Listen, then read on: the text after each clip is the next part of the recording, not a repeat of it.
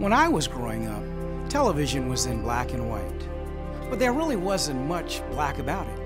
TV reflected a world that didn't look like me, but times change.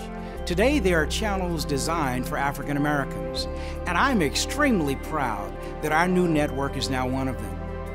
I'm Martin Luther King III, and this is TV Our Way.